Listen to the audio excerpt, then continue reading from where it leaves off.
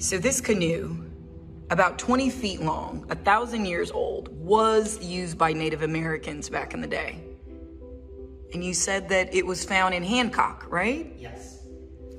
And actually, it's interesting because Florida has more dugout canoes found in our state than any other place in the world.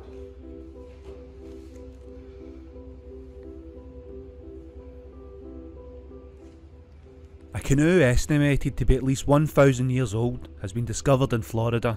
Wait till you hear this. According to a report by Bay News 9, a stunning discovery has taken place in Polk County. Florida has more than a whopping 30,000 lakes spanning over millions of acres of land. And Polk County has over 500 lakes, and over the years, a rich history has been discovered at the bottom of them. The canoe is about 21 feet long and it would have held about 7 passengers. They would cut down cypress trees and hold them over fire to soften the bark enough to carve out the shape of the canoe.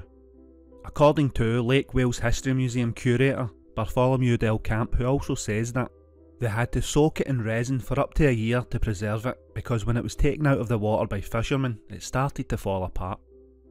In the 1820s, native tribes actually moved through the area and all of Polk County was a Seminole reservation until the war, when they were pushed further south into the Everglades.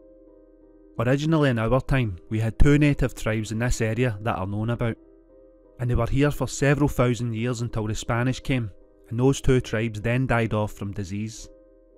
Experts think the canoes were used for many things, but mainly to survive, and for the Native Americans, the lakes were the lifeblood of the community. Everything they ever needed was on the lakes fresh water, fishing, hunting. Back then, the land was so swampy that the easiest way to travel was a dugout canoe. Apart from the 1,000 year old canoe, Lake Wales History Museum is home to hundreds of other historical artefacts that gives a closer look at how far we've come, and the museum was actually the city's main train station at one point. Over the years, the museum has transitioned into an eclectic place where people can come and enjoy historical exhibits. But what do you guys think about this one anyway? Comments below, and as always, thank you for watching.